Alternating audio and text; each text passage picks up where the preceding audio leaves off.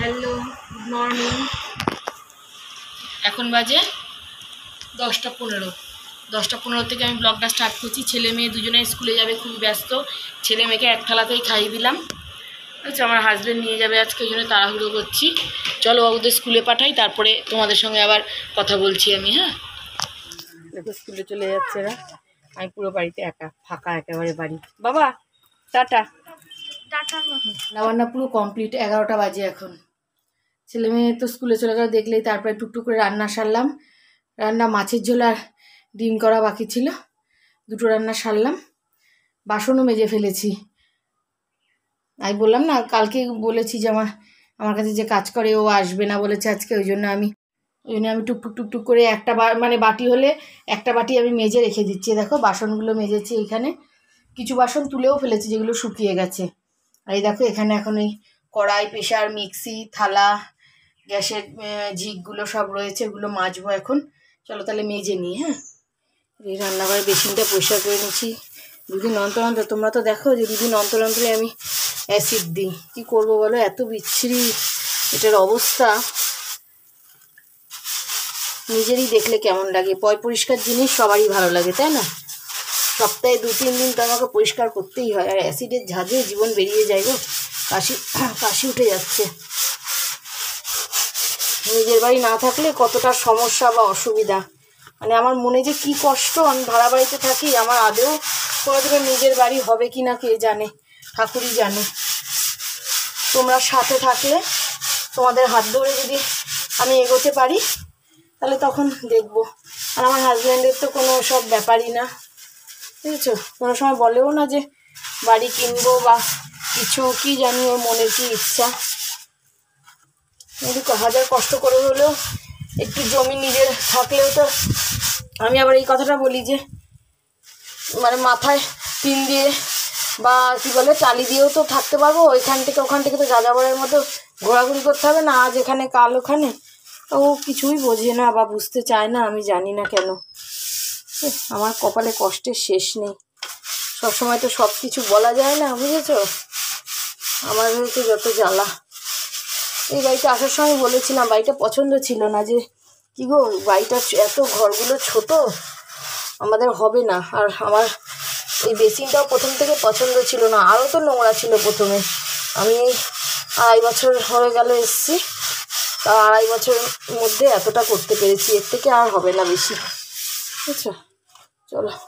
দুঃখের কথা কত বলব, যত বলব ততই মনে হবে যে, শেষ করলাম না এটা বলা হলো না, ওটা বলা হলো না। দেখো আমার গ্যাসটা সব মোছা হয়ে গেছে। ভাত বসিয়েছি ইন্ডাকশানে ভাত বসিয়েছি।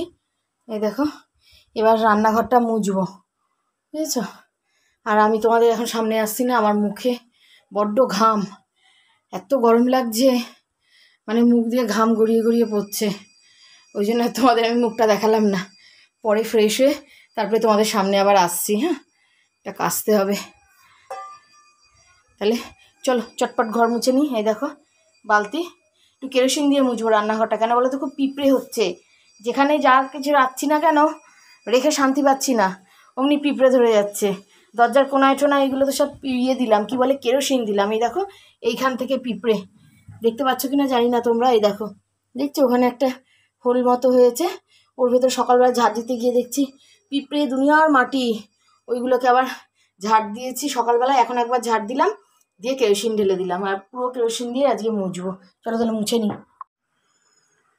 তো বলল না ফ্রেশ হয়ে তোমাদের সামনে আসব। স্নান টান হয়ে গেছে আমার।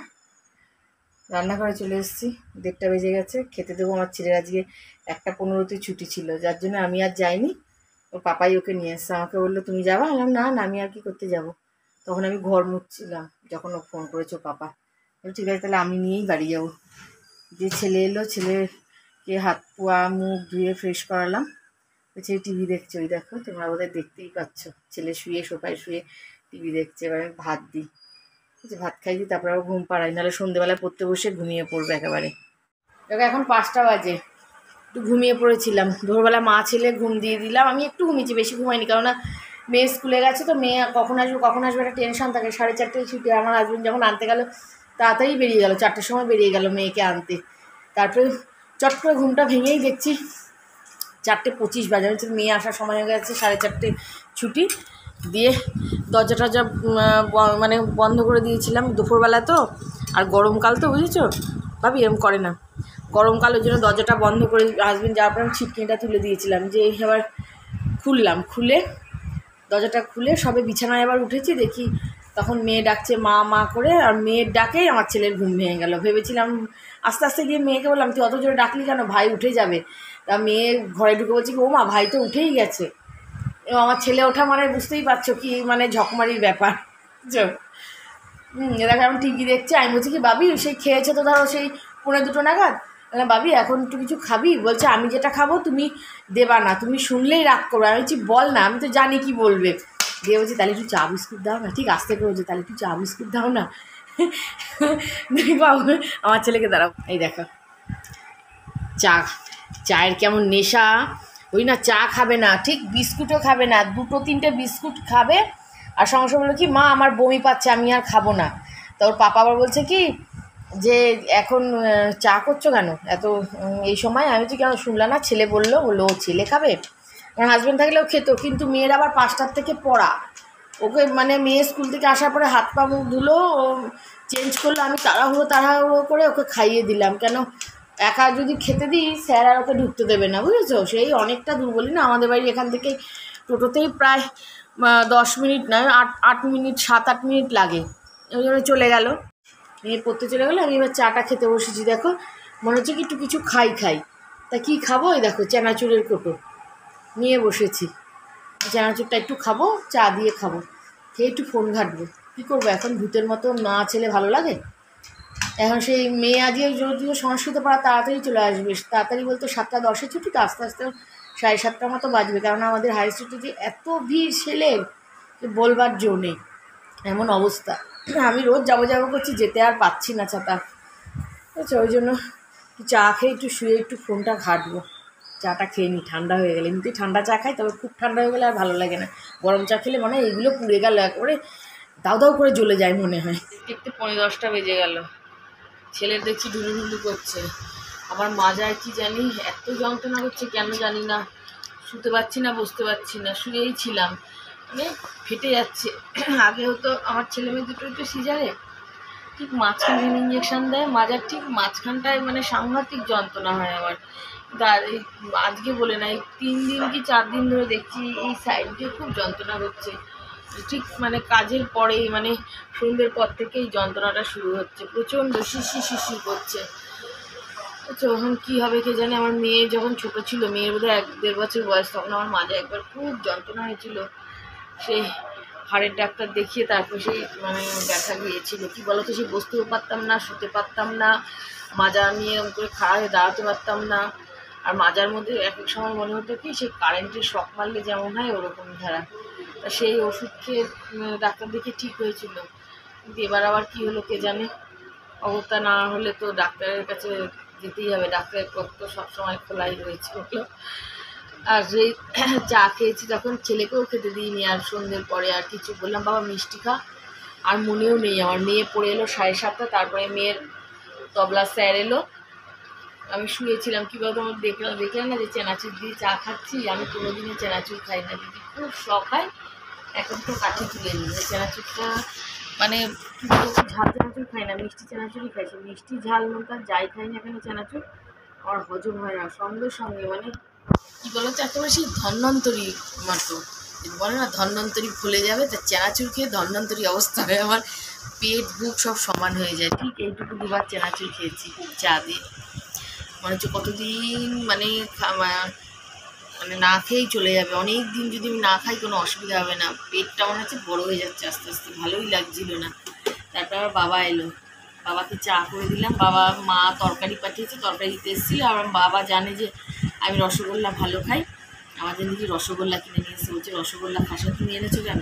তুই ভালো খাস, ওই জন্য নিয়ে এলাম। এবার রসগোল্লা আমার বাবাও জানে। যে আমি যে রসগোল্লা যে কী ভালো খাই, বুঝেছ? তা বাবা দিয়ে গেল সন্ধ্যেবেলায় আমি বাবাকে বললাম, বাবা সন্ধ্যে দেবো, তুমি কি এখন থাকবা? তা বাবা বলছে, না, আমি বেরিয়ে যাব, তাহলে তুই বেরিয়ে যাও, তারপরে সন্ধ্যে দেবো। কেন দূরে জল দিলে তো আর সন্ধ্যে না দেওয়া অবধি বেরোতে পারবে না, ওই জন্য বাবা আবার বেরিয়ে গেল, তারপরে আমি সন্ধ্যে দিলাম। বললাম, না, পেট বুক সব চলে গিয়েছিল মানে কোনো কিছুই আমি মানে ঠিকভাবে খেতে পারি না। আমি যে কতদিন মানে পেট ভরে খাই না, তোমাদের বললে হয়তো তোমরা ভাববে যে মিথ্যে কথা বলছে বা গল্প শোনাচ্ছে ইউটিউবে এসে। তা না, আমার শরীরকে পারমিট করে না তো। শরীর এমন কন্ডিশন আমার তো হজম হয় না। কোনোদিনও যদি পেট ভরে খেয়েছি আমি, আর তাই নাই শুরু হয়ে যাবে, কি বলো তো মানে অস্থির করবে, বমি পাবে, যতক্ষণ বমি না করব আমার শান্তি হবে না। আর বমি করলে যে তোমাদের ব্যথা হয় কি না বা মানুষের এরকম ব্যথা হয় কি না আমি বলতে পারব না। এইগুলো নিয়ে পাঁচ, ছ দিন আমি নড়তে পারি না, কথা বলতে পারি না কাশতে পারি না, এত ব্যথা হয়। বুঝছ? ওই জন্য মানে দুবেলা দুমুঠো কোনো সময় আমি পেট ভরে খেতে পারি না। এটা শুনতে হয়তো খারাপ লাগছে যে বাবা, পেট ভরে আবার খেতে পারে না, এটা হয় নাকি? এটা সত্যি? কোনোদিনও মানে মানুষের তৃপ্তি করে পেট ভরে খায় তো আমি খেতে পারি না। আমার একটুখানি খেলেই পেট ভরে যায়। ফ্যাটি লিভার যেহেতু, ওই জন্য। ভয়ে ভয়ে চানাচুর তো মুখেই ঠেকায় না, যদিও বা লোভে ওই আজি বলে কি শুধু চা খাও বিস্কুট খাব না, একটু চানাচুর খাই। তার মধ্যে দুপুরবেলা রুটি খেয়েছে, আজকে ভাত খাইনি। ফ্রিজে আটা মাখা ছিল, দুটো রুটি করে দুপুরবেলায় খেয়েছি। সব মিলিয়ে আর আজকে পেট বুক চড়ে গিয়েছিল। চানাচুরটা তো মেন ফ্যাক্টর এখানে। আর রুটি করিনি কেন? বলতো মাজা নিয়ে দাঁড়াতে পারছি না। ওই জন্য আমার ভাতই বসিয়ে দিয়েছি, ভাতই খাবে। আর বাবা তরকারি দিয়ে গেল, আমার তরকারিগুলো রয়েছে। দেখো সব তরকারি দিয়ে রুটি খেতে ভালো লাগে না। এই জন্য ভাতই করে ফেললাম। আজকে আর মানে ভিডিও বড় করব না, তোমাদের সঙ্গে বড় করব না বলতে বলতে রোজই বলি আর রোজই বক বক বক বক করে মানে করতে ধরলে আর আমি থামি না। এবার রেলগাড়ি চলেই যায় তো চলেই যায়। বুঝেছ? তো আজকে টাটা। আর আমার চ্যানেলটাকে অবশ্যই সাবস্ক্রাইব করে রেখো। তোমার কিছু বলার নেই বলো। আজকে তাহলে আসছি গুড নাইট সুস্থ থেকো ভালো থেকো।